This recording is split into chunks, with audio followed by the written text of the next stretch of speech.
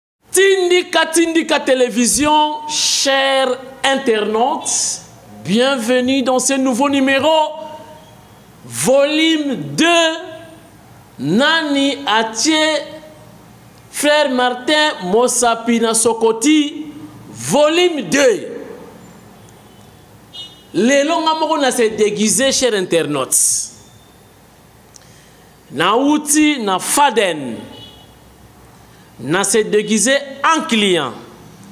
Ah, frère Martin aza impoli. Makambo azosolo na bato na ye yaka eza naza kilia nzoka nazalaki infiltre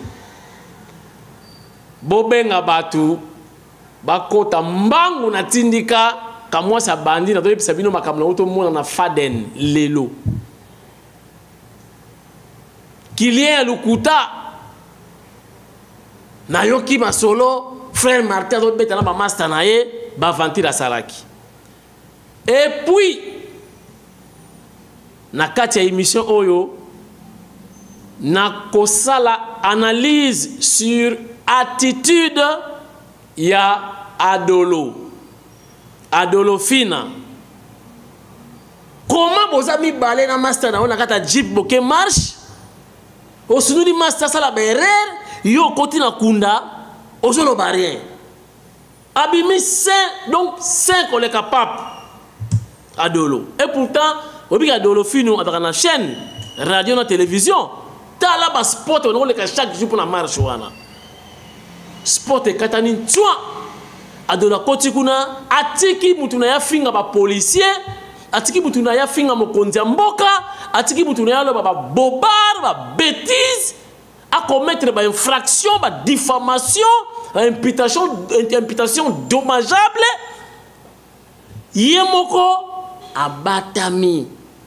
donc masolo wana ebetami te ti bazongi pale ye alobi eloko te ye ayokani te na koanalyse bokocomprendre attitude ya dolo bapoliticien bamisiki baa bato termo baa bato te asundoli moninga sieta reputation ya moninga ebebi adolo abatami Et pourtant, il y a événement ya bango mibale. Pourquoi muninga tocha makelele? Awa msali boko boy. Président Eli ya Facebook ngaya yo. Président Eli, boya, boy. Donc président Eli mobimba na députation aza ba voix ebele te. Ah, soki azalaki réellement président élu mais pourquoi atyaki na députation atie mpe na présidentielle mais comment yo président élu na présidentielle na lukunga babeti ye aza premier na lukunga te babeta ye azwi bavoi moke na lukunga depute comment yo moto ozwi bavoi moke atake depute sikoyo okende ozwa bavoi ebele na congo mobimba c'est un menteur Na ko expliquer bino. Relativement avec CCM, changement de mentalité. Soki to lingi mboka oye changer, biso moko to banana no ko changer. To tika ko finga ba policiers. Ba policiers pe, bo tika ko beta ba journalistes. bajournaliste mpe botika kofingaka présidence de la république journaliste ba betaki wana tomoni ba image auto ko, ko, ko bimisa article moka lokuta que présidence ba lie mbongo sans ba preuve azo funda batu ya CSM changement de mentalité olingi mboka ebonga lobi yo moko banano komibongisa papa ya moninga benga ye papa mama ya moninga benga ye mama Pesa ye respect ndenge opesaka mama oyo aboti yo. Omoni sango na nzela, pesa ye mbote ekoki na ye. Ovandi na bus, omoni mokolo atelemi, yo telema pesa ye kiti wana afanda. Nga kutu nalobaka te, na mutuka na nga namemaka batu chaque jour, malgre bazoyiba nga na ba telephone, bazoyiba nga na ba mbongo, na bana classe bazoyiba. mais tellement na nazo koka te namoni batu na re na leka na memaka kaka na ko kende na ko zonga na memaka batu batu na yebi te toza ekolo moko te mais nous sommes des congolais changement de mentalité elongwe na bizaleli na biso te mais ebabakisi lisusu tofuta mpe mpaku ya leta mpo mboka etongama. Yo olingi batonga ba pont, olingi basala ba nzela na mboka na yo, olingi batonga ba immeuble ba glat ba ba gratte ciel mais gratte ciel ekotongama koma soki topesi mbongo na leta te na mwa ndambo toza na yango mais boza komona koma toza kose sacrifie mpona kopesa mbongo na ba eglise un dixième ya salaire opesi na eglise Deux mois, trois mois après, pasteur asombi jeep ya kitoko ndenge mona ya ba généraux. Yo na makolo kaka. Naza contre ba pasteur te. Ozozwa dib na yo opesi na église, église esombi lupangu, batongi ndako ya monene. Mokolo pasteur akokufa, bana ya pasteur ba récupérer lupango wana. Siko ba dime bino banakopesa eke wapi? Bana ya pasteur bakomi ba riche, bazo rouler carrosse, bino kaka mapapa boza kobamba matin midi soir. Bomoni ke mbonga mabonza bosaleli bana ya pasteur. Mais soki opesi impôt na yo na l'etat, l'etat akotongela yo biloko ebele lokola Mobutu atikela biso stade de martyr, atikela biso pont maréchal, eza pe ba mbongo ya impôt. Mpo ezalaki mbongo ya marechal ya poche te. Voilà, botala ndenge bato ya CCM, bandeko ya CCM baza kosangana mpo na komotive ba Congolais bafuta impôt. Totala wana makambo ya impôt, c'est important. Après, tozongi tobeta lisolo ya mosapi Volume deux boyoka reponse ya frère Martin ndenge asololi na ba masta na ye makambo asalaki policier wana.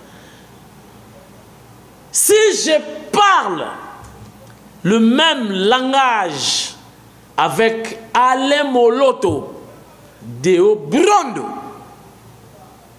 suka na cameraman mpo ye afilimaka océan mfumubuku mulongeshi wa kalasa Autrement dit, Son Excellence Nana Manuanina Kyumba Ministre Pre Mfumu wa Ditunga. Tindika biso di!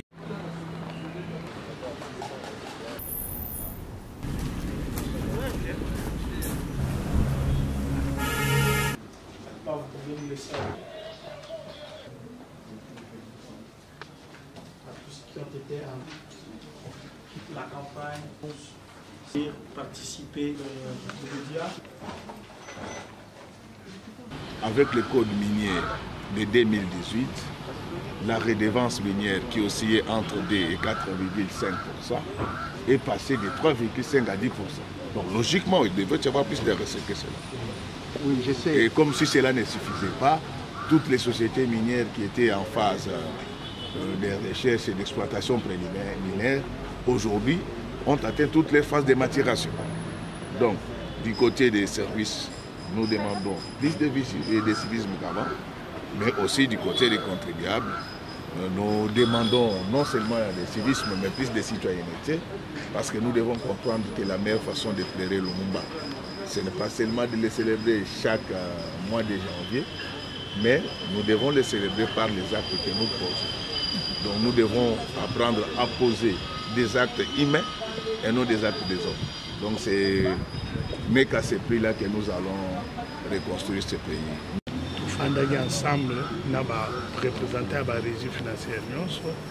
ya bayo bauti na basociété civile mpe baye nyonso oyo baza concerne na kati na sujet oyo ministère ya budget ya finance mpo tofandaki na commission pendant plus de trois réunions nde monture wana ya budget esalemaki tosoumettre na bakonzi bango batala oyo eza na bango makoki kopesa mais mpo esalema facilement nde tozwi mayele ya kokata biloko na eteni na eteni soki tobandi na lancement ekokute 10 dollar a ah, moto alobi ke ngai nakopesa 1 eh, mosusu alobi nakopesa 2 baregi balobi na oyo boye biso tokopesa autant journal lancement le 11 esalema so tolobi ke apartir ya commission oyo ezosalema lelo kino tokende na baprovince ekute biso 200 000 baregi balobi te biso na eteni oyo tokopesa 1 dollar oyo kuna alobi 5 gouvernement alobi 3 tosala eteni wana donc bato batika esprit ya koyindisa kaka likambo eyindi te ebandi koyindisa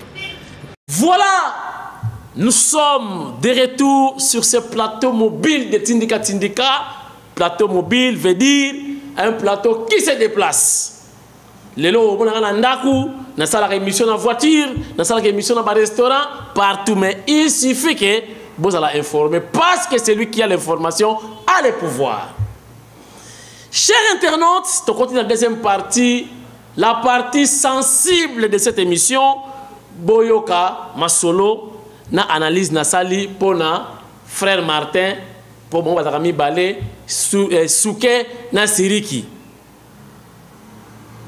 Donc les deux dipo dipo moko mutabandundu moko sénégalais. Mutabandundu na lokuta mboka yebana te. Mais un Sénégalais au Congo, alinga tia loi. Cher internaute, lelo na se déguiser. Na ke na faden. Bobengani bana je crois, awa ezali sensible. Na ke na se déguiser client. Bien rai, chapeau na masque. Taka soko zui masque, obeti ko to tia na chapeau, otie na lunette. Esili, okomika fantomas. namelami na coin nasengi sucre baye baservir nga nabwaka miso na ngambo namoni mpe frère martin na bamasani moko bazalaki na bakobeta masolo bamasa yango nayebi bango te sikoyo moko azwi kaka courage bazoseka evenema ndenge elekaki lobi abeteli ye lisolo atuni abi a ah, mbuta me lobi makambo ndenge elekaki makambo ya mosapi abi e eh, obike obike polisi yango osaka na nga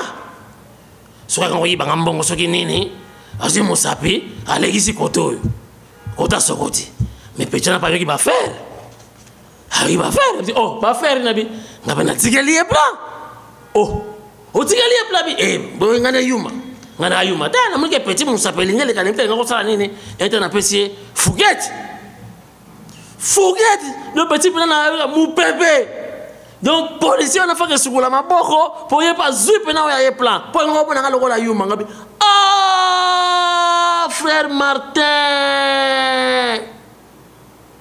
comment président de la république ya facebook akoraisonne boye donc azo signale bango ke non ezalaki 11 policier atie ye mosapi ye mpe apesi ye mopepe abi petit wana faka elave maboko mpena 6 fois wana soki ofona savon rexona eh, donc savon rexona na savon wear donc basavo ya diego kao wana wear eh? voilà basavo ya kala bino bozalaka te babotamaka te seri wana donc Frère Martin aza impoli moko na ndimaki te na koyoka makambo na yoki lelo. Donc impoli moko ya kosakana te azoloba ki apesi fourquette epai ya policier donc 1 1 policier atie doigt ye bapesi ye plan moko boye donc 1 1 relativement na comportement ya adolo cher internaute bomoni na politike bokozala mibale me boza na vision moko te ou boza na vision moko mais Boza na interet moko te. Vous savez, dejà frère Martin asila, asila gaz. Et puis pour nanga da apprenti politicien. Soki alingako gagner marche, alingako ndima report. Ah, gouvernement bobi na reporter. C'est bon, nandimi report. Soki date ekoki, gouvernement akoluka manœuvre mosusu. Comme ça, ye azwi raison que deuxième report, tokondima yango te. Wana bato tout bakopesa ye raison. Donc c'est un apprenti akwei na mutambu na ye moko. Marche esalami te, mutambu na ye moko, elie ye moko. Sikoyo Adolphe, Adolo, Adolo esa ayebi déjà que mutu baza na ye. a echoue lisusu mpo gaz esi esila bato basalaki ezalaki ba moïse na bulke babare faci bango batikala korenie lokola faci azali petit frère ya jésus christ akenda ba bénédiction ya haut niveau après koretire signature na ye moto akomprenaki ke match ebebi kamere yango moni kamere alandaki faci ntina na ye robi asa amonaki abia ah, esili yango bomoni lelo bamoïse babwakisi frère martin parce que coup erataki déjà ezalaki makambo mosi esilaki ye sikoyo alingi asakapare kaka na ngenge bapesaka ye wana mpo bamoïse esi esila eleka adolo alingaki atente chance ya suka na evenema oyo ntango adolo atali abi mm, awa eza place nakomona lobi ke naboma carrière na ngai ensemble na ye adolo abatami donc na kati ya kunda na kati ya carlos abatami atiki masta na ye akometre baerreur ba declaration nyonso bomoni frère martin asali na marche oyo erate ezali sous ba émotion sous colère ya échec azangaki maîtrise yango meme na bitumba soki olingi oganie kosilika te bato basala sport bayebi yango bapesaka bato idéologie wana kosilika te mpo soki osiliki okoperdre maîtrise okopona na komba Donc frère Martin a perdaki déjà, a pété ba plomb. Maintenant bani koloba n'importe quoi, lokola mwana muke. Donc je crois na ba, ba journaliste wana ba filmaki ye surtout ba mindele na monaki wana la presse internationale ba comprenait que oyo déjà donc nzimwaka fuidi ba comprenait que eh, aza susu te Yango bomoni Adolo abateli kibomuntu na ye kombo na ye bima te na ba bobar wana. Atimbele bien mutu nanga perdre. Adolo a conserver mwa dignité moke atikalaki nango. Bozela bokoyoka lobi Adolo kobanda ba déclaration mosusu contraire na ya frère Martin. mpo aboyi kosieta na ye parce que amoni ke moto nazolanda aza homme politique te homme d'état te Parce que ba declarations asalaki eza ba declarations ya bana ya balabala, les enfants de la rue. Voilà, chers internautes, nalobaki na kosala emission oyo na kobombela bino te makambo namoni na Faden nayebisa bino que président élu ya Facebook c'est un aventurier et puis impoli.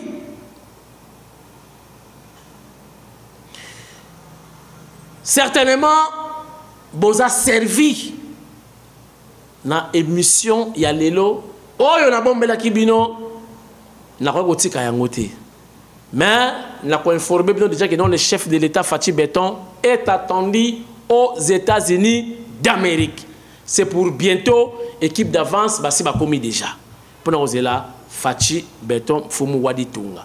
Na ko clôturer émission oyo pona koyebisa bino que nous sommes réellement en démocratie dans ce pays.